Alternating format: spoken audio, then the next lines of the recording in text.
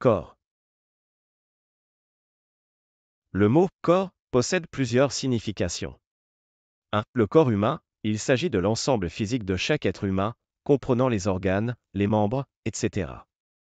Exemple, mon corps me fait mal. 2. Une organisation, il peut désigner une entreprise, une institution, une association, etc. Exemple, le corps professoral de l'université est très compétent. 3. La substance matérielle, dans ce sens, le corps peut désigner la matière physique d'un objet, d'une substance, etc. Exemple, le corps de la voiture est en acier.